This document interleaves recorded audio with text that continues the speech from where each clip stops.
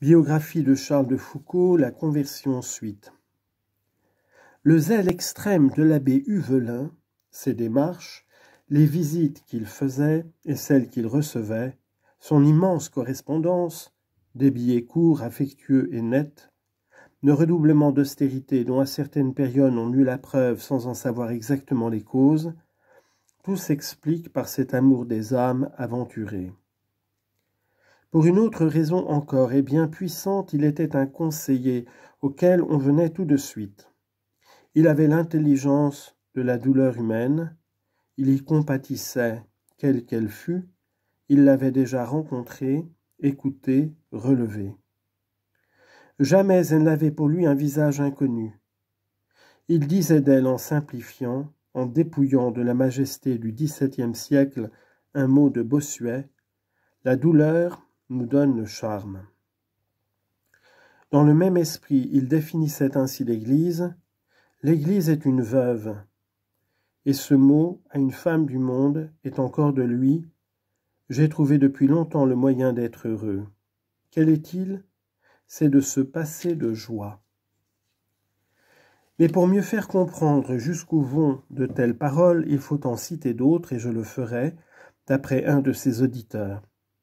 Du même coup, on entendra parler l'orateur. Ce ne sera pas un hors-d'œuvre, puisqu'il s'agit du prêtre qui va convertir Charles de Foucault et faire de lui le père de Foucault. Citation. Jésus est l'homme des douleurs parce qu'il est le Fils de l'homme, et l'homme n'est que douleur. La douleur nous accompagne de la naissance à la mort, elle nous purifie, nous ennoblit, elle nous donne le charme. C'est parce qu'elle est notre inséparable compagne que Jésus a voulu qu'elle fût sienne. De grandes âmes il en faut pour l'honneur de l'humanité qui reproduisent les états du Christ. Ont appelé désirer la douleur.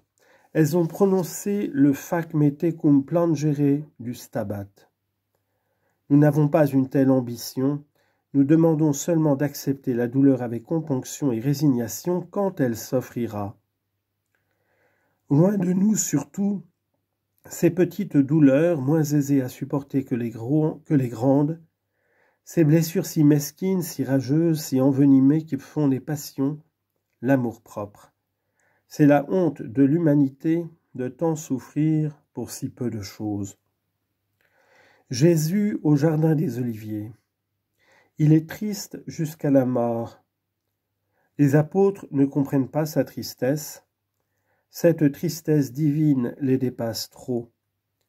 Pour la comprendre, il faudrait savoir ce qu'est le péché, et ils ne le savent pas, et nous ne pouvons le savoir. Son attitude n'est pas une attitude grecque. Il ne domine pas sa tristesse, ne dit pas comme ferait un stoïcien Douleur, tu n'es qu'un mot. Oh que non La tristesse l'envahit par tous les pores, son âme en est inondée, elle a monté comme une mer, noyé tous les sommets. Il prie, mais sa prière n'est pas ce mouvement naturel, cette respiration heureuse de l'âme, elle n'est pas non plus une suite de belles pensées, c'est un sanglot, un sanglot qui se résout en un Amen, ainsi soit-il. C'est toute sa prière. Sa volonté unie, identifiée, jusqu'ici à celle du Père pour la première fois apparaît distincte, le poids est trop lourd, vous à qui tout est possible, éloignez de moi ce calice. Il cherche secours auprès de ses apôtres, il les trouve endormis, l'on est seul dans la tristesse alors qu'on voudrait un mot du cœur.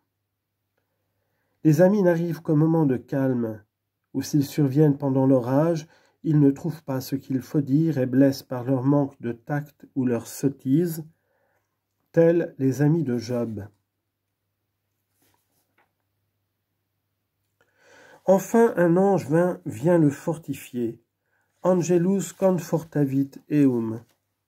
Le fortiter, non le consoler. Le fortifier, non le consoler. La grâce de son essence est fortifiante, non consolante. Je ne puis citer plus longuement sans dépasser mon but. Ce qu'on vient de lire, ce que j'ai dit, suffit à faire comprendre pourquoi toutes les misères humaines, tous les doutes et, tous les repentirs allaient naturellement à l'abbé Huvelin. Il confessait à saint Augustin. Il recevait beaucoup chez lui. Quel robuste et agile esprit devait avoir ce malade et ce perclus pour imaginer successivement tous les problèmes d'ordre moral qu'on lui soumettait, pour les étudier et les résoudre en un moment. Mais il était doué d'un jugement si sûr qu'il débrouillait tous les cas et d'une vue si pénétrante des dispositions intimes des personnes qui le consultaient que plusieurs l'ont attribué à une grâce singulière de Dieu. On cite même des circonstances où il a fait allusion à des événements passés secrets de la vie de ses pénitents. Ses avis étaient clairs, simples, de bon sens, et il n'en changeait pas. Il les variait selon les gens. Il ne traitait pas les ours comme les hirondelles. Plus d'une fois, on a entendu répéter Il y a des âmes auxquelles on doit dire Il faut en passer par là.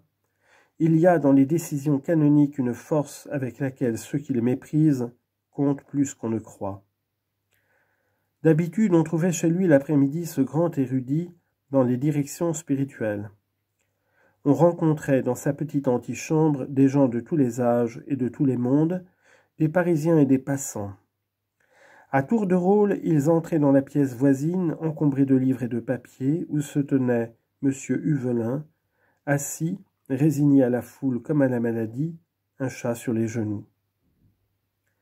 Les visiteurs qui lui avaient été présentés même dans le lointain passé étaient sûrs d'être reconnus.